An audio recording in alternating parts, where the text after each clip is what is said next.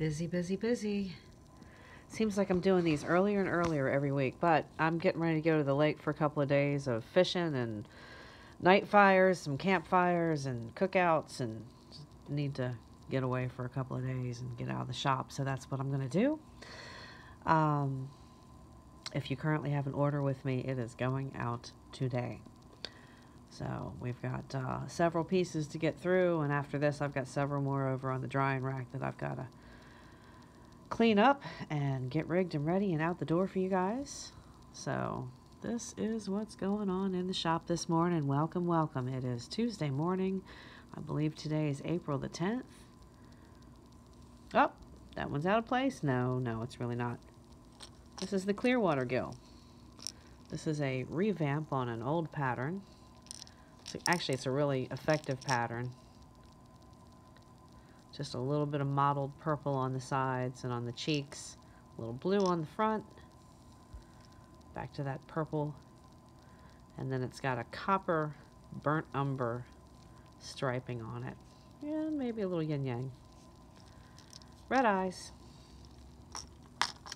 Got some molten lavas. We've got some mice that are getting ready to get rigged. The Hamilton craw.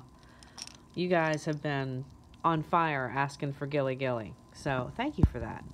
I love spraying it. I'm really having a good time with this. This is in the Little John. Gilly Gilly. Some oldie but goodies. Blue this time of year has been real effective. It's, it's definitely effective in clear water, more than most folks would think. Um, this is getting ready to go up to New York. We had a bit of rain, so we've been uh, leaving these dry just a little bit longer because we want to make sure you guys have the product that you need. And nice hard clear coat. So, got some dragon eyes on this, which is fun. And they're going to be red anyways. But, hey, gilly gilly. Lots of gills, lots of molten lavas. This is in the S.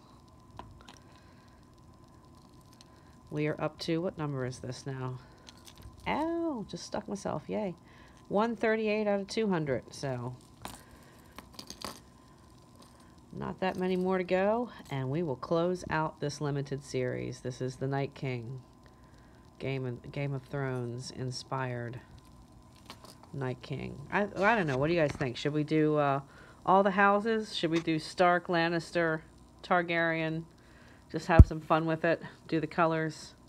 Um, and the reason that I can do these effectively and not get in trouble for it is because I'm not using any HBO signatures on it. It's just colors and patterns, which is what I would do for uh, any other houses.